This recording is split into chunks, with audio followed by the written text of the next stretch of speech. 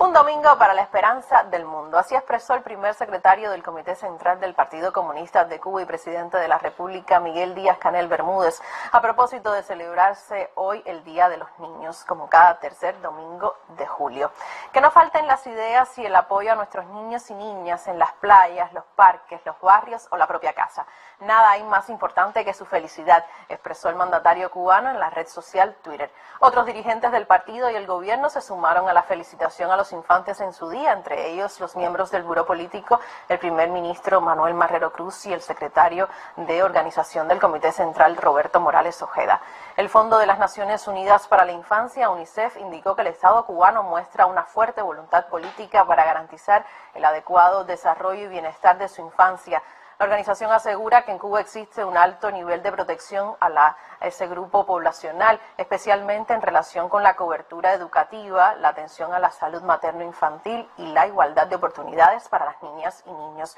En el afán de avanzar mucho más en la protección de los infantes, en el proyecto de Código de las Familias se legitiman los derechos de los menores y las responsabilidades que se deben tener en su formación y cuidado en correspondencia con la Convención Internacional sobre los Derechos del Niño.